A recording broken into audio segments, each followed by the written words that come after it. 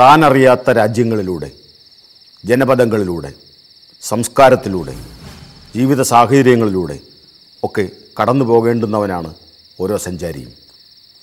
ഏത് നാട്ടിൽ ചെന്നാലും തന്റെ നാടും ശീലിച്ചു വന്ന സംസ്കാരവുമായി മറ്റു രാജ്യങ്ങളിലെ സംസ്കാരത്തെ തട്ടിച്ചു നോക്കുക സ്വാഭാവികമാണ്. ഏത് സഞ്ചാരിക്കും ഇങ്ങനെയൊരു സമതുലിതാവസ്ഥ സൂക്ഷിക്കാൻ സാധിക്കില്ല. അവനവന്റെ രാജ്യവും സംസ്കാരവും പിറന്നു വീണ നാടുമൊക്കെ എപ്പോഴും പ്രചോദകങ്ങളായി നിൽക്കുകയും ചെയ്യും. സഞ്ചാരിയുടെ ഡയറക്കുറിപ്പുകളിൽ പലപ്പോഴും ശ്രീ സന്തോഷ് ജോർജ് കുളങ്ങര ഈ താരതമ്യം നടത്താറുണ്ട്. സഞ്ചാരത്തിന്റെ ദൃശ്യയാത്രാ വിവരണത്തിലും ഈ താരതമ്യങ്ങൾ പലപ്പോഴും കാണാം. വീണ്ടും സ്വാഗതം സഞ്ചാരിയുടെ ഡയറി കുറിപ്പുകളിലേക്ക് ഈ പല നാടുകളിലും പോകുമ്പോൾ അവരവരുടെ നാടിനെക്കുറിച്ച് താൻ ജനിച്ച് വളർന്ന സംസ്കാരത്തെക്കുറിച്ചൊരു സ്വാഭാവിക താരതമ്യം ഉണ്ടാവുക പതിവാണല്ലോ. നമ്മുടെ നാടുകളിലൂടെയുള്ള യാത്ര നടത്തുമ്പോൾ ഇതിൽ നിന്ന് വ്യത്യസ്തമായ വേറൊരു അനുഭവമായിരിക്കുമല്ലോ ഉണ്ടാവുക. നമ്മുടെ സംസ്കാരത്തെയും നമ്മൾ കേട്ടറിഞ്ഞ ജനപദത്തെയും ഒക്കെ നമ്മൾ കൂടുതൽ സൂക്ഷ്മമായി അടുത്തറിയുകയാണ്. ഇന്ത്യൻ യാത്രകളിൽ ഏറ്റവും പ്രചോദകമായി തോന്നിയിട്ടുള്ള അല്ലെങ്കിൽ ഏറ്റവും അധികം നമ്മുടെ സംസ്കാരവുമായി ഘടിപ്പിക്കുന്ന മേഖലകൾ ഏതൊക്കെയാണെന്നാണ് തോന്നിയിട്ടുള്ളത്? ഞാൻ സഞ്ചാരം ഒരു തരത്തിൽ ആരംഭിക്കുന്നത് ഇന്ത്യൻ യാത്രകളിലൂടെ തന്നെയാണ്. നേപ്പാളൊക്കെ ആയിരുന്നു ആദ്യം അല്ലേ? നേപ്പാളിന് മുമ്പ് ഇന്ത്യ. ഞാൻ നേപ്പാൾ ഒരു വിദേശ രാജ്യമാണല്ലോ. അപ്പം നേപ്പാൾ ആണ് സത്യത്തിൽ എന്റെ ആദ്യ വിദേശ രാജ്യം എന്ന് വേണേൽ പറയാം. പക്ഷെ അതിനു മുൻപ് സഞ്ചാരം എന്ന പേരിലല്ലാതെ ഞാൻ നടത്തിയ യാത്രകൾ. ഇപ്പോൾ കേരള വിശേഷം എന്ന് പറഞ്ഞൊരു പരിപാടി ഞാൻ ചെയ്തിരുന്നത് കേരളത്തിനകത്തൂടെയാണ്. പിന്നീട് ഞാൻ യാത്ര എന്ന പേരിൽ ഒരു ട്രാവലോഗ് ചെയ്യാനായി ഇന്ത്യക്കകത്തൂടെ യാത്ര നടത്തുകയും കുറേ ചിത്രീകരണം നടത്തുകയൊക്കെ ചെയ്ത ചെയ്തതിന് ശേഷം ആ പ്രോജക്റ്റ് തന്നെ ഉപേക്ഷിക്കപ്പെട്ടു.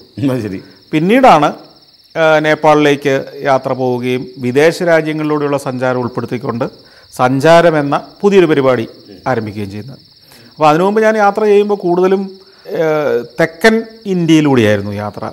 പ്രത്യേകിച്ച് കർണാടകത്തിലൂടെ തമിഴ്നാട്ടിലൂടെ ആന്ധ്രയുടെ തെക്കൻ ഭാഗത്തൂടെയൊക്കെ. അതും മനുഷ്യൻ അധികം കണ്ടിട്ടില്ലാത്ത നാടുകളിലൂടെയായിരുന്നു. പിന്നീട് സഞ്ചാരം സംപ്രേഷണം തുടങ്ങിയതിന് ശേഷവും വിദേശ രാജ്യങ്ങൾ എനിക്ക് തോന്നുന്ന ഒരു അൻപതോ അറുപതോ അൻപതിലേറെ നൂറോളം രാജ്യങ്ങൾ വിദേശ രാജ്യങ്ങൾ സന്ദർശിച്ചതിന് ശേഷമാണ് ഞാൻ തിരിച്ച് വീണ്ടും ഇന്ത്യയിലൂടെയുള്ള യാത്രകൾ തുടങ്ങുന്നത്. അത് ശരിയാണ്. ആ രണ്ടാമത്. രണ്ടാമത്. അത് ഹിമാലയത്തിലേക്കായിരുന്നു എന്റെ യാത്രകൾ അല്ലെങ്കിൽ ഉത്തരേന്ത്യ. കാരണം ദക്ഷിണേന്ത്യ ആളുകൾക്ക് സുപരിചിതമായ ഒരു നാടാണ്. ഉത്തരേന്ത്യയിലെ തന്നെ അധികം ആരും കണ്ടിട്ടില്ലാത്ത പ്രദേശങ്ങളിലൂടെ. തന്നെയുമല്ല നമ്മൾ ധാരാളം വായിച്ചിട്ടുണ്ട് ഹിമാലയത്തെക്കുറിച്ച്. പിന്നെ കാളിദാസ സാഹിത്യങ്ങളൊക്കെ അതല്ലേ? അല്ല കാളിദാസ സാഹിത്യം മുതൽ ഇങ്ങോട്ട് അതെ അതെ. ധാരാളം യാത്രികരുടെ ഹിമാലയൻ യാത്രകളുടെ അനുഭവങ്ങൾ. സന്യാസിമാരുൾപ്പെടെ സാധാരണ മനുഷ്യർ വരെ ഉള്ള ആളുകളൊക്കെ എഴുതിയ ധാരാളം ഹിമാലയൻ യാത്രാനുഭവങ്ങളുടെ പുസ്തകങ്ങൾ ഇന്ന് ലഭ്യമാണ്.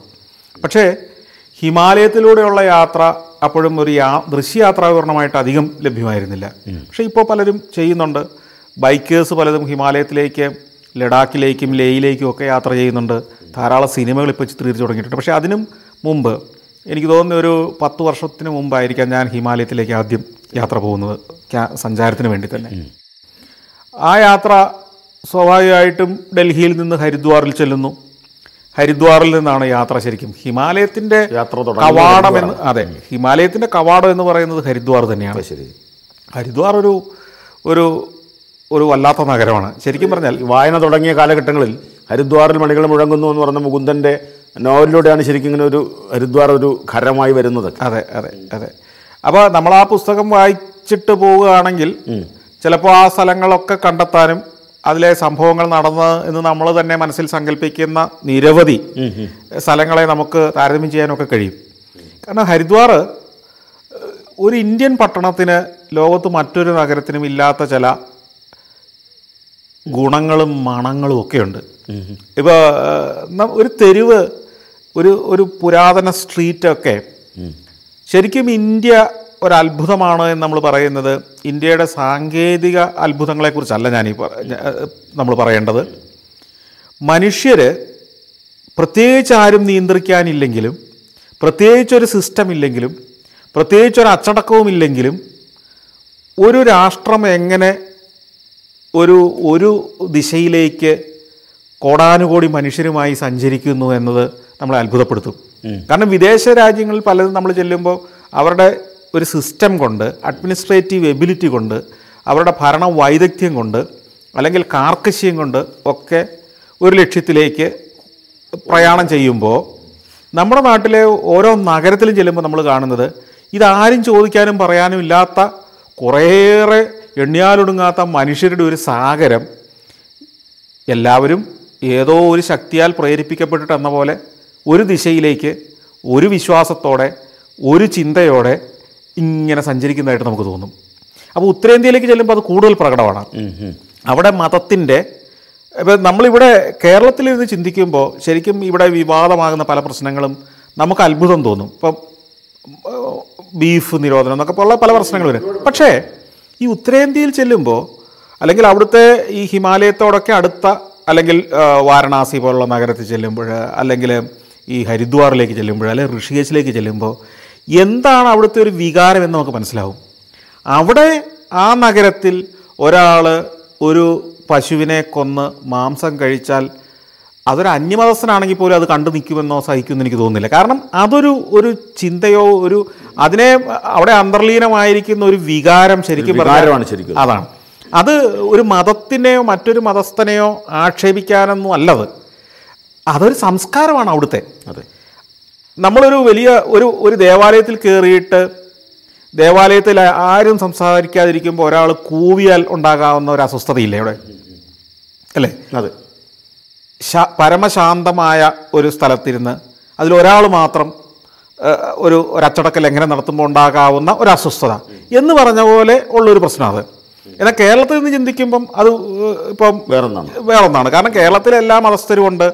അവരൊക്കെ ഏതാണ്ട് തുല്യമായ അളവിലും അനുവാദത്തിലും ജീവിച്ചു പോരുന്നതാണ്. അതുകൊണ്ട് എല്ലാവരുടെയും സ്വാതന്ത്ര്യത്തെ മാനിക്കുന്ന അല്ലെങ്കിൽ ഒരു മൾട്ടി കൾച്ചറൽ ശീലമാണ് മൾട്ടി കൾച്ചർ നമുക്ക് ശീലമാണ്.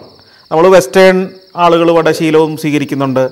നമ്മുടെ ധാരാളം ആളുകൾ വിദേശത്ത് ജോലി ചെയ്യുന്നതുകൊണ്ട് ആ സംസ്കാരവും നമ്മൾ കുറച്ചൊക്കെ സ്വാംശീകരിച്ചിട്ടുണ്ട്.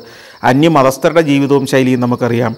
കേരളം വ്യത്യസ്തമാണ്. സൗത്ത് ഇന്ത്യ കുറച്ചുകൂടെ വ്യത്യസ്തമാണ്. പക്ഷേ ഉത്തരേന്ത്യയിൽ ഈ ഹരിദ്വാറിലേക്കൊക്കെ ചെല്ലുമ്പോൾ അവിടെ അന്തർലീനമായ അല്ലെങ്കിൽ അവിടെ അടിയിലൂടെ ഒഴുകുന്ന ഒരു ധാര മൊത്തത്തിൽ ഒരു ഭാരതീയതയുടെ ഒരു ആർഷഭാരതത്തിന്റെ അതിന്റെ തുടർച്ചയായി വരുന്ന ഒരു ജീവിതചര്യയുടെയൊക്കെ ഒരു ഒരു സ്പന്ദനമാണ് നമ്മൾ എല്ലായിടത്തും കാണുന്നത്. അത് നമ്മൾ നോക്കുന്ന ചിഹ്നങ്ങളിലും നമ്മൾ കാണുന്ന നിർമ്മിതികളിലും എല്ലാം ഇത് പ്രകടമാണ് മനുഷ്യരുടെ വേഷത്തിൽ അവരുടെ മുഖത്തെ ഭാവത്തിൽ അവരുടെ നോട്ടത്തിൽ വരെ നമുക്കിതെല്ലാം കാണാൻ കഴിയും. അതിനെ മറ്റൊരു തലത്തിൽ നിന്ന് ചിന്തിക്കണമെന്ന് മാത്രം. അത് അതിന്റെ ഒരു തീവ്രതയിലേക്ക് പോയി മറ്റുള്ളവർക്ക് ബുദ്ധിമുട്ടുണ്ടാക്കുന്നത് ശരിയാണെന്നുള്ള അർത്ഥത്തിലല്ല ഞാനീ പറയുന്നത് അതിന്റെ കാരണമാണ് ഞാനീ പറയുന്നത്. അവർക്കതൊരു അസ്വാഭാവികമായിട്ട് തോന്നുന്നില്ല. കാരണം അതൊരു ജീവിതചര്യയാണ്. അതാണ് ആ നാടിന്റെ ഒരാത്മാവെന്ന് പറയുന്നത്. നമ്മളവിടെ ചെല്ലുമ്പോൾ ഞാൻ എപ്പോഴും ചെയ്യാറുള്ളൊരു കാര്യം അവരിലൊരാളായി അവരിലേക്ക് പൂർണമായിട്ട് അങ്ങ് മുഴുകാൻ എന്നെ തന്നെ അങ്ങ് വിട്ടുകൊടുക്കും. അവരുടെ മനസ്സുമായി നമ്മുടെ മനസ്സൊന്ന് സമരസപ്പെടുത്തുക. മനുഷ്യരോ മനസ്സോ അല്ല ഞാൻ ഈ പറയുന്നത് ആ ഒരു ഒഴുക്കുണ്ടല്ലോ ഒരു പ്രവാഹം ഒരു ജനപ്രവാഹം അല്ലെ ഒരു സാംസ്കാരിക പ്രവാഹം അതിലൂടെ ഒഴുകുന്ന ഗംഗയുടെ ഒരു പ്രവാഹം അതുകൊണ്ടിരുന്ന ഒരു സംസ്കാരത്തിന്റെ ഒരു ഒരു ഒഴുക്ക് ഒരു അവിടുത്തെ ഒരു സ്പിരിറ്റ് അതിന്റെ ഭാഗമായി നമ്മളിവിടെ മാറണം. ഞാൻ പലപ്പോഴും ഒരു കാവി വസ്ത്രമൊക്കെ ധരിച്ച് ഒരു കുറിയൊക്കെ തൊട്ട് പലപ്പോഴും തലയിലൊരു കെട്ടൊക്കെ കെട്ടി ഇതിലൂടെ ഇങ്ങനെ നടക്കാറുണ്ട്. അത്തരം അത് വാരണാസിയിലായിരുന്നെങ്കിലും അലഹബാദിലെ കുംഭമേള മഹാകുംഭമേള നടക്കുമ്പം അവിടെ വന്നു നിറഞ്ഞ കോടാനുകോടി മനുഷ്യരുടെ ഇടയിലൂടെ നടക്കുമ്പോഴാണെങ്കിലും അവിടെ നമ്മൾ അവരിൽ ഒരാളായി അവരിലേക്ക് അലിഞ്ഞു ചേർന്ന് നടക്കുമ്പോഴാണ് നമ്മൾ യഥാർത്ഥ ഭാരതത്തിന്റെ ഒരു ആത്മാവിനെ സ്പർശിക്കുന്നത്. അവിടെ നമ്മയിലേക്ക് വന്നു ചേരുന്ന ഒരു തരംഗമുണ്ട്. നമ്മളുടെ ശരീരത്തിന്റെ ഓരോ അണുവിനെയും ത്രസിപ്പിക്കുന്ന ഒരു ഒരു ഊർജമുണ്ട്. അത് നമ്മൾ പൂർണമായിട്ട് ഉൾക്കൊള്ളുമ്പോൾ അവിടെയുള്ള മാലിന്യങ്ങളുടെ അളവിനെക്കുറിച്ചോ അച്ചടക്കമില്ലായ്മയുടെ പ്രശ്നങ്ങളെക്കുറിച്ചോ ഒന്നും നമ്മൾ ചിന്തിക്കില്ല. അവിടെ നിന്ന് ഉത്ഭവിക്കുന്ന ഒരു ആർഷഭാരത ഊർജം നമ്മുടെ ശരീരത്തിൽ വന്നറിയും. അപ്പം നമ്മൾ അതിന് തയ്യാറായിട്ട് നമ്മളെ തന്നെ അങ്ങ് വിട്ടുകൊടുക്കണം. ഈ എന്റെ ഉത്തരേന്ത്യൻ യാത്രകൾ പ്രത്യേകിച്ച് ഹിമാലയത്തിലേക്കുള്ള യാത്രകളൊക്കെ ഞാൻ അങ്ങനെ മുഴുകി യാത്ര ചെയ്തിട്ടുള്ളതാണ്. അത്തരമൊരു മുഴുകലിലൂടെ നമുക്ക് ഹിമാലയത്തെയും അല്ലെങ്കിൽ ഈ ദേവഭൂമി എന്ന് പറയുന്ന ആ പ്രദേശത്തെ നമുക്ക് ഉൾക്കൊള്ളാൻ കഴിയുള്ളൂ. അവിടെ നമ്മൾ ശീലിച്ചിരിക്കുന്നതോ നമ്മൾ കണ്ടിരിക്കുന്ന കേരളത്തിന്റേതോ ആയ സാഹചര്യങ്ങളെല്ലാം നമ്മളങ്ങ് മറക്കണം. അങ്ങനെ ആ മറവി ഒരു യാത്രയിലെ മറവി ആരംഭിക്കുന്ന സ്ഥലമാണ് ഹരിദ്വാർ. ഹരിദ്വാർ ചെന്നിറങ്ങുന്നതോടുകൂടി അവിടുത്തെ പുലരിയിലേക്ക് നമ്മൾ കാലുകുത്തുന്നതോടുകൂടി നമ്മൾ മറ്റൊരു കാലഘട്ടത്തിലേക്ക് എത്തുന്നു മറ്റൊരു ലോകത്തിലേക്ക് എത്തുന്നു. അവിടെ ഗംഗയുടെ തീരത്ത്. ഗംഗയെ ഇങ്ങനെ വഴിതിരിച്ച് വിട്ടിരിക്കുക അവിടെ. അതായത് പല സ്നാനഘട്ടങ്ങളിലേക്ക് ഗംഗയെ അണകെട്ടി തിരിച്ചു വിട്ടിരിക്കുന്ന ശരിക്കും പറഞ്ഞാൽ ഒരു ആധുനിക കാലത്ത് നിർമ്മിച്ച ഒരു സംവിധാനമാണ് ശരിക്കും ഹരിദ്വാർ ഇന്നത്തെ ഹരിദ്വാർ. യഥാർത്ഥ പുരാതന ഹരിദ്വാർ എന്ന് പറയുന്ന ആ നഗരത്തിന്റെ കട്ടുകളൊന്നും ഇന്ന് നമുക്ക് കാണാൻ കഴിയില്ല. ഇടക്കാലത്തെന്നോ ഗംഗയിൽ വെള്ളം ചിറകെട്ടി സ്നാനഘട്ടത്തിൽ കൃത്യ അളവിൽ കൃത്യം ഉയരത്തിൽ വെള്ളം എത്തത്തക്ക പോലെ ചാലുകൾ പണിത് അല്ലെങ്കിൽ കനാലുകൾ പോലെ നിർമ്മിച്ച് പടവുകൾ കെട്ടി പണിത ഭാഗമാണ്. അവിടെ ഓരോ ദിവസവും നൂറുകണക്കിന് ആയിരക്കണക്കിന് ആളുകൾ വന്ന് കുളിച്ചുകൊണ്ടിരിക്കുക സ്നാനം നടത്തിക്കൊണ്ടിരിക്കുകയാണ് മുങ്ങിക്കുളിക്കുന്നവർ അവർ മുങ്ങിക്കുളിക്കുന്നതിന് തൊട്ട് താഴെ അവരുടെ ശരീരത്തിൽ നിന്ന് ഊരിപ്പോകാൻ സാധ്യതയുള്ള സ്വർണത്തിന്റെ ഒരു കണികയ്ക്ക് വേണ്ടിയോ അല്ലെങ്കിൽ അവരുടെ പേഴ്സിൽ നിന്ന് പോകാൻ സാധ്യതയുള്ള നാണയത്തുട്ടിന് വേണ്ടിയോ മുങ്ങി വെള്ളത്തിൽ വെള്ളത്തിൽ മുങ്ങിപ്പൊങ്ങുന്ന കുട്ടികൾ അതിനകത്ത് നിന്ന് ചെളി വാരിയെടുത്ത് ആ ചെളിയിൽ എന്തെങ്കിലും ഒരു ലോഹം അവശേഷിക്കുന്നുണ്ടോ എന്ന് നോക്കുന്ന ആളുകൾ ഇങ്ങനെ പലതരം ജീവിതങ്ങൾ നമ്മൾ കാണുന്നത് ഒപ്പം നമ്മൾ കാണേണ്ട ഒരു കാര്യം പുരുഷന്മാരുണ്ട് കുട്ടികളുണ്ട് സ്ത്രീകളുണ്ട് യുവതികളുണ്ട് വൃദ്ധകളുണ്ട്. ഇവരെല്ലാം കുളിക്കുന്ന ഇതേ ഘട്ടങ്ങളിലാണ്. മുങ്ങിക്കുളിച്ച് നോർന്നു വരുന്നു കഴിയുമ്പം നനഞ്ഞ വസ്ത്രവുമായിട്ട് നിൽക്കുന്ന ഓരോ മനുഷ്യരൂപവും അവരുടെ ശരീരത്തിന്റെ എല്ലാ വടിവുകളും വടിവുകളും കാണിച്ചുകൊണ്ടാണ് നിൽക്കുന്നത് പക്ഷേ ഇതൊന്നും അവിടെ ഒരു മനുഷ്യർ ശ്രദ്ധിക്കുന്നില്ല എന്നുള്ളതാണ് അത്ഭുതം. ഒരു മനുഷ്യരും ഈ മുങ്ങുന്ന ഒരാളും അത്തരം ഒരു ചിന്തയിലേക്ക് അല്ല പോകുന്നത്. അത് നമ്മളെ അത്ഭുതപ്പെടുത്തും. ഇതെന്തുകൊണ്ടാണ് ആ മാറ്റം?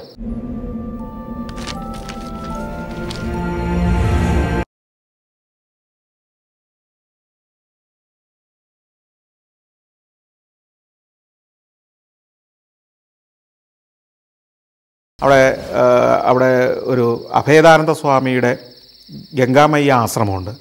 അവിടെ പോയിരുന്നു.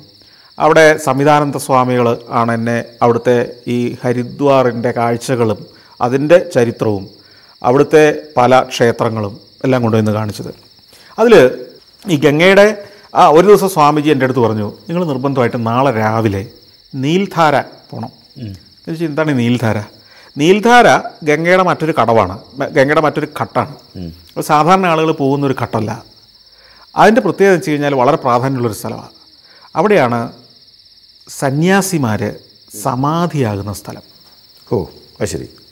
സാധാരണഗതിയിൽ ആളുകൾ പോകാത്ത ഒരു സ്ഥലമാണ് അവിടെ സമാധിയാന്ന് പറഞ്ഞാൽ സമാധിയാകാറാകുന്ന ആളുകൾ അവിടെ എത്തുന്നു അവിടെ സമാധിയാവുന്നു അവരുടെ മൃതദേഹം ഈ ഗംഗയ്ക്ക് സമർപ്പിക്കുന്നു. ഇതാണ് അവിടെ നടക്കുന്നത്. അതേ വല്ലപ്പോഴൊക്കെ നടക്കുന്ന ഒരു കാര്യമാണ്. ബാക്കി സ്ഥലങ്ങളിലെ ഘട്ടുകളിലാണ് പൊതുവെ എല്ലാ സന്ദർശകരും അല്ലെങ്കിൽ തീർത്ഥാടകരും എത്തുകയും കുളിക്കുകയും വൈകുന്നേരം ഗംഗാരതി നടക്കുകയൊക്കെ ചെയ്യുന്നത്. ഗംഗാരതി ഉണ്ട്.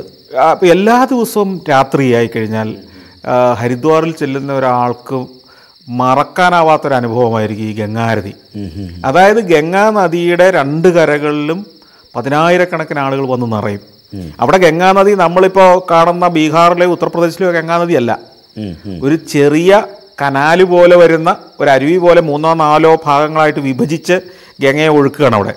അടി നല്ല വൃത്തിയാക്കിയിട്ടിരിക്കുന്ന സൈഡുകളിൽ നല്ല പടവുകളുള്ള കൂടിപ്പോയ ഇരുപതടി വീതിയെ ആ ഭാഗത്ത് ഗംഗയുടെ ഈ കനാലുകൾക്കുള്ളൂ. അതിന്റെ രണ്ട് വശങ്ങളിലുമായിട്ടാണ് ഈ ആരതി നടക്കുന്നത്. അവിടെ പതിനായിരക്കണക്കിന് ആളുകൾ കൂടും. അവിടെ ഗംഗാമാതാവിന്റെ ക്ഷേത്രമുണ്ട് പല ഉപക്ഷേത്രങ്ങളുണ്ട് മറ്റ് ദേവതകളുടെ ക്ഷേത്രങ്ങളുണ്ട്. ഇവിടെ ഗംഗാമാതാവിന്റെ ക്ഷേത്രത്തിലെ മുഖ്യ പൂജാരി പൂജകളൊക്കെ കഴിഞ്ഞിട്ട് അവിടെ നിന്ന് കൊളുത്തുന്ന ഒരു വിളക്ക് ആരതി ദീപം. നൂറുകണക്കിന് ചിരാതുകളിലേക്കും ഇതിലേക്കും അങ്ങ് പകരും. പിന്നെ ഗംഗയെ സ്തുതിച്ചുകൊണ്ടുള്ള പാട്ട് ആരംഭിക്കുകയായി. അത് എൽ ആയിരം കണ്ടങ്ങളിൽ നിന്ന് ആ പാട്ടങ്ങ് ഉയരും. അവിടെ ഒരു ഒരു ഒരു ഒരു ഭക്തിസാന്ദ്രമായ ഒരു അന്തരീക്ഷമായി മാറും. ആ ഇരുട്ടിൽ ഈ ദീപങ്ങളുടെ പ്രഭയിൽ തിളങ്ങുന്ന മുഖങ്ങൾ മാത്രം പിന്നെ നമ്മൾ കാണുന്നത്. ഈ ആരതി കൈപ്പിടിക്കുമ്പോൾ കൈ പിടിക്കുമ്പോൾ ആയിരക്കണക്കിന് ആളുകളുടെ മുഖം ഇങ്ങനെ തിളങ്ങുന്നതാണ് കാണുന്നത്. പിന്നീട് ഇത് ഒരു താലത്തിൽ പൂക്കളും ഈ മൺചിരാതും കൂടെ വെച്ചിട്ട് ഒഴുക്കും. അതിങ്ങനെ ഗംഗയിലൂടെ ഒഴുകും. ഒഴുകി പോകും. ഇതാണ് അവിടുത്തെ വൈകിട്ടത്തെ ആരതി. അതായത് ലോകത്തൊരു നദിയും ഉണ്ടാവില്ല.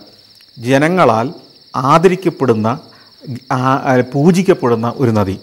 കാര്യം ഇത്രയും വൃത്തികേട് ഒഴുകുന്ന ഒരു നദിയും ലോകത്ത് വേറെ ഉണ്ടാവില്ലെങ്കിലും നമ്മളൊരു വലിയ വൈരുദ്ധ്യമാണിത്. വൈരുദ്ധ്യം എന്ന് പറഞ്ഞാൽ ഒന്ന് നമ്മൾ ആദരിക്കുമ്പോൾ തന്നെ നമ്മളുടെ അറിവില്ലായ്മ കൊണ്ട് നമ്മളതിനെ കുറെ ദ്രോഹിക്കുന്നുണ്ടെന്ന് കരുതിയാൽ മതി. മനഃപൂർവം ആരും ചെയ്യുന്നതല്ല. പക്ഷേ നമ്മളുടെ ഒരു സംസ്കാരത്തിന്റെ ഒരു ഡെപ്ത് പ്രകൃതിയിലേക്ക് എത്ര ആഴ്ന്നിറങ്ങിയതാണ് എന്ന് നമ്മൾ മനസ്സിലാകുന്നത്. തീർച്ചയായിട്ടും. ഇന്നും ആ വൈകുന്നേരങ്ങളിൽ നമ്മൾ ഹരിദ്വാറിലെ ഈ ഗംഗാരതി കഴിഞ്ഞിട്ട് മടങ്ങുമ്പോഴാണ് ജനസഹസ്രങ്ങളാണ് അവിടുന്ന് മടങ്ങുന്നത്. ഏതെല്ലാം നാട്ടിൽ നിന്ന് വന്നവർ ദക്ഷിണേന്ത്യയിൽ നിന്ന് തമിഴ്നാട്ടിൽ നിന്ന് വന്നവർ മുതൽ കാശ്മീരിൽ നിന്ന് വന്നവർ ഭാഷ അറിയാൻ വയ്യാത്ത എത്രയോ പേര്. അപ്പോൾ ഇതെല്ലാം കണ്ട് ഷൂട്ട് ചെയ്ത് ഞാൻ ഹോട്ടലിൽ പോയി കിടന്ന് രാവിലെ ഈ സ്വാമിജി പറഞ്ഞ നീൽധാര. ഈ നീൽധാര കാണാൻ പോയി. അപ്പം അങ്ങോട്ട് പോകുമ്പോൾ കുറേ ദൂരം പോകണം വഴിയൊക്കെ തെറ്റിപ്പോയി. അപ്പോൾ എന്റെ ഈ ഡ്രൈവർക്കും അറിയില്ലത്. കാരണം അയാൾ അവിടെ ഒന്നും പോകാറില്ല. അവിടെ ടൂറിസ്റ്റ് പോകുന്ന സാധാരണ പോകുന്ന സ്ഥലമല്ല. സ്ഥലമല്ല. അപ്പോൾ ഞാൻ വിചാരിച്ചു എന്താണ് സ്വാമിജി അവിടെ പോകണം എന്ന് പറയാൻ കാര്യം? ഇത് അത്ര അപ്പോൾ കുറേ ദൂരം പോയി. അങ്ങനെ ചെന്ന് ഒരു ബണ്ട് പോലുള്ളൊരു പാതയിലൂടെ കുറേ ദൂരം പോയി കഴിയുമ്പം ആ വഴിയോരങ്ങളിൽ ഒരു ചെറിയ കൂട ഒരു ഒരു ചെറിയൊരു ഒരു ഒരു ഷെഡ്. അപ്പോൾ അവിടെ ഒരു സന്യാസി എന്റെ മുറ്റത്തിരിക്കുന്നു. അപ്പോൾ ഞാൻ ചോദിച്ചു അയാളോട് ചോദിച്ചു സന്യാസിയോട് ചോദിച്ചു സ്വാമി ഈ ഈ നീൽധാരയിലേക്ക് പോകുന്നത് എങ്ങനെയാണ് അപ്പം അദ്ദേഹം ഒന്നും പറഞ്ഞില്ല. അയാൾ ഡോറ് തുറന്ന് കാറിനകത്ത് കയറിയിരുന്നു. ഡ്രൈവർ പറഞ്ഞു നേരെ വണ്ടി വിടാൻ. അങ്ങനെ ഞങ്ങൾ പോയി നീൽധാരയിലെത്തി. അപ്പോൾ അവിടെ കുറേ കല്ലടുക്കിയിട്ടിട്ടുണ്ട് ഈ കല്ല് അടുക്കിയിട്ട് ഒരു ഗംഗ ഇങ്ങനെ ഒരു വളവ് തിരിഞ്ഞങ്ങ് പോകുന്ന ഒരു ഭാഗമാണ് അപ്പോൾ അതിന്റെ നമ്മൾ ഈ പുലിമുട്ടിടുന്ന പോലെ തന്നെ കല്ല് അടുക്കിയിട്ടിരിക്കുക അതിന് മുകളിൽ ചെല്ലുമ്പോൾ കാണുന്ന കഴിഞ്ഞാൽ രാവിലെ പുലർച്ചെയാണ്.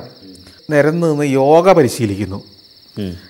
അപ്പോൾ ഒരു ഇൻസ്ട്രക്ടർ പറഞ്ഞു കൊടുക്കുന്നു ബാക്കി യോഗ അനുഷ്ഠിക്കുന്നു. അപ്പോൾ ഇതാണോ ഇവിടുത്തെ കാഴ്ച? ഇതിനാണോ സ്വാമിജി ഇങ്ങോട്ടെന്നൊക്കെ ഞാനിങ്ങനെ ശങ്കിച്ചു. വീണ്ടും അവരെയും പിന്നിട്ട് പിന്നെ കാർ മുമ്പോട്ട് പോവില്ല നടന്നു. നടന്ന് ചെന്ന് കഴിഞ്ഞിട്ട് എന്നോട് പിന്നാലെ വരാൻ പറഞ്ഞു. ഈ ഈ സ്വാമി ഈ സന്യാസി. അപ്പോൾ അദ്ദേഹത്തെ നമുക്ക് മുഖത്ത് നോക്കുമ്പോൾ ഒരു സന്യാസിയുടെ ഒരു ഒരു തേജസ്സോ ഒന്നുമില്ല എവിടുന്നോ വന്ന പൂർവാശ്രമത്തിൽ വേറെന്തോ തൊഴിൽ ചെയ്തിരുന്ന ഒരാൾ താടിയും മുടിയും നീട്ടിയെന്ന് മാത്രം നമുക്ക് തോന്നുന്ന തരത്തിലായി മനുഷ്യൻ ജീവിക്കുന്നത്. ഇങ്ങനെ ഒരു വീട്ടിനകത്ത്. ഇങ്ങനെ എന്നെ കൊണ്ടുവന്നിട്ട് ഒരു ആ വളവിലെ തിട്ടയിലേക്ക് കുറച്ച് താഴേക്ക് ഇറങ്ങണം. താഴെ ഇങ്ങനെ കല്ല് ചരിച്ച് ചരിച്ച് ചരിച്ച് അടുക്കിയിട്ടിരിക്കുക. ഇവിടെ ഇറങ്ങി താഴെ ചെന്ന് കഴിഞ്ഞപ്പോൾ എന്നോട് വരാൻ പറഞ്ഞു. എന്നിട്ട് ആ തീരത്ത് ഗംഗയുടെ ഗംഗ ഒഴുക വളഞ്ഞങ്ങൊഴുക ഇങ്ങോട്ട് നോക്കാൻ പറഞ്ഞു. ഇതാണ് നീൽധാരയിലെ കാഴ്ച. ഞാനൊരു നോട്ടം നോക്കുമ്പോൾ ഞെട്ടിപ്പോവുകയാണ്. അവിടെ ഒരു വലിയ വെളുത്ത മനുഷ്യൻ വെള്ളത്തിൽ ഏതാണ്ട് പൂർണമായും മുങ്ങി ഇങ്ങനെ ആടിക്കൊണ്ടിരിക്കുകയാണ്. ആ കഴിഞ്ഞ ഏതോ ദിവസങ്ങൾക്ക് മുമ്പ് മരിച്ച സമാധിയായ ഒരു സന്യാസിയുടെ മൃതദേഹം വെള്ളത്തിൽ ചീർത്ത് വെളുത്ത നിറം പ്രാപിച്ച് അന്ന് ആ മനുഷ്യൻ എത്ര വലിപ്പം ഉണ്ടായിരുന്നോ? അതിന്റെ ഒരു മൂന്ന് മടങ്ങ് വലിപ്പത്തിലേക്ക് ചീർത്ത് വെള്ളത്തിൽ കമഴ്ന്ന് കിടന്ന് ഇങ്ങനെ ആടിക്കൊണ്ടിരിക്കുന്ന ഒരു കാഴ്ചയാണ്. ഞെട്ടിപ്പോയി. നമ്മളിത് പ്രതീക്ഷിക്കുന്നില്ലല്ലോ. എന്ന് മാത്രമല്ല അപ്പോൾ മറ്റൊരു കല്ല് ഇതൊരു കല്ലിൻ ഈ ഗംഗ ഇങ്ങനെ വളഞ്ഞൊഴുകുകയാണല്ലോ. അവിടെ കുറേ കല്ലുകൾ അടുക്കിയിട്ടിരിക്കുക ഇതിലൊരു കല്ലിന്റെ മുകളിലേക്ക് ചാടി ചെന്ന ഒരു പട്ടി ഈ സന്യാസിയുടെ ശരീരത്തിന്റെ ഒരു ഭാഗം ഇങ്ങനെ കടിച്ചു വലിച്ചുകൊണ്ടിരിക്കുക ഓ വല്ലാത്ത കാഴ്ച. കേട്ടിട്ട് തന്നെ വല്ലാത്തൊരു ഒരു ഭീകരമായ കാഴ്ച. അതായത് മനുഷ്യ ശരീരം ഇത്രയും വെളുക്കുമോ എന്ന് നമുക്ക് സംശയിച്ചു പോകും. അത് ഈ മൂന്നാലഞ്ച് ദിവസം കഴിഞ്ഞത് കൊണ്ടാണ്. വീർത്തിട്ട് പുറം കമഴ്ന്ന് കിടക്കുകയാണ് വെള്ളത്തിനടിയിൽ വെള്ളത്തിനടിയല്ല. അയാളുടെ ശരീരത്തിൻ ആ മൃതദേഹത്തിന്റെ ശരീരം വെള്ളത്തിന്റെ ഏതാണ്ട് മുകളിലൊപ്പം വരത്തക്ക പോലെ മുങ്ങി നിൽക്കുന്നു. വ്യക്തമായിട്ട് കാണാം. പട്ടി ഇങ്ങനെ കടിച്ചു വലിച്ചുകൊണ്ടിരിക്കുന്നു. അവിടെ നിൽക്കുമ്പോൾ നമ്മൾ മറ്റൊരു രീതിയിൽ ചിന്തിക്കുകയാണ് ഇതിനെ. ഈ മനുഷ്യ ജീവിതം എന്ന് പറയുന്നത് മരണത്തിന് ശേഷം നമ്മൾ ഈ ആഘോഷിക്കുന്ന ശരീരത്തിന്റെ ഒരവസ്ഥ ശരിക്കും ഇതൊരു വലിയ പാഠമാണ് നമ്മളെ പഠിപ്പിക്കുന്നത് അല്ലേ? ജീവിതത്തിന്റെ ഒരു ഫിലോസഫി പറഞ്ഞു തരുന്ന ഒരു സ്ഥലമാണത് തീർച്ചയായിട്ടും. സംവിധാനന്ദ സ്വാമി നീൽധാരയിലും കൂടെ പോയിട്ടേ പോകാവൂ എന്ന് പറഞ്ഞപ്പോൾ ഈ ഒരു കാഴ്ചയിലേക്കാണ് എന്നെ വിട്ടതെന്ന് അപ്പോഴാണ് എനിക്ക് മനസ്സിലായത്. ഹരിദ്വാർ എന്ന് പറയുന്നത് നമ്മൾ കാണുന്ന ഗംഗാരതിയുടെ ഒരു ഒരു ഒരു ആഘോഷ കാഴ്ച മാത്രമല്ല. ഇതെല്ലാം കഴിഞ്ഞുള്ള ജീവിതത്തിന്റെ അവസാനവും കൂടെ കാണിച്ചിട്ടേ നമ്മൾ വിടുള്ളൂ അവിടുന്ന്. ഇതാണ് അവസാനം. ഇതിലേക്കാണ് ഈ ആഘോഷമെല്ലാം എത്തുന്നതെന്നുള്ള ഒരു ഫിലോസഫി ഉണ്ടല്ലോ. ഇതാണ് ഇന്ത്യൻ ഫിലോസഫി രണ്ട് എക്സ്ട്രീമും നമ്മൾ പഠിപ്പിച്ചു തരുന്നത് അതെ അതെ. നമുക്ക് ഒരിക്കലും കേരളത്തിൽ അങ്ങനെ ഒരു മൃതദേഹം ഇത് എത്ര ദിവസങ്ങളായി അതങ്ങനെ കിടക്കും. അത് ഇവിടെ നിങ്ങൾക്ക് സങ്കല്പിക്കാൻ കഴിയുമോ? ഒരു മൃതദേഹം ഇങ്ങനെ കിടക്കുന്നത്. മിനിറ്റുകൾക്കകം ചാ ചാനലുകളുടെ ക്യാമറ എവിടെ എത്തുകയായി? വാർത്ത പരക്കുകയായി? ഒരു സന്യാസിയുടെ മൃതദേഹം ജലത്തിൽ കിടക്കുന്നു എന്ന് പറയുകയായി? പോലീസ് വന്ന് കരക്കെടുക്കുകയായി? അതിനെ ദഹിപ്പിക്കുകയായി? ഗംഗയുടെ തീരങ്ങളിൽ അങ്ങനെ ഒരു പ്രോസസ്സേ ഇല്ല. ഇത് ഇന്ത്യ ആണോ? നമ്മളറിയുന്ന ഇന്ത്യൻ ഭരണഘടനയുള്ള ഒരു ഇന്ത്യ ആണോ എന്ന് നമുക്ക് സംശയിച്ചു പോകുന്ന മട്ടിലാണ് അവിടെയൊക്കെ. ഇതിപ്പോൾ ഒരാൾ സമാധിയായതാവാം അല്ലാത്തതാവാം ഇതൊന്നും ഗംഗയിലേക്ക് എത്തുമ്പോൾ അതിനെല്ലാം ഗംഗ എന്നൊരൊറ്റ ഉത്തരം മാത്രമേ ഉള്ളൂ. അല്ലാതെ അയാളുടെ മരണത്തിന്റെ കഥയൊന്നും പിന്നെ അവിടെ പ്രസക്തമല്ലാതാകുകയാണ് എങ്ങനെ മരിച്ചു? എന്തിനു മരിച്ചു? ഏത് പ്രായത്തിൽ മരിച്ചു? ഗംഗയിൽ വിലയം പ്രാപിച്ചു. ഗംഗയിൽ ജീവിതം അവസാനിച്ചു എന്നുള്ള ഒറ്റ കഥ കൊണ്ട് അതങ്ങ് അവസാനിക്കുകയാണ്. അനുഭവങ്ങൾ. പൊള്ളുന്ന നേർസത്യത്തിന്റെ സാക്ഷ്യങ്ങളാണ്. ശ്രീ സന്തോഷ് ജോർജ് കുളങ്ങരയുടെ യാത്രാനുഭവങ്ങളിലൂടെ യാഥാർത്ഥ്യങ്ങളുടെ പുരളറിയാൻ അനുഭവങ്ങളുടെ തീഷ്ണത അറിയുവാൻ അടുത്ത എപ്പിസോഡിൽ വീണ്ടും കണ്ടുമുട്ടാം. അതുവരെ വിടാം.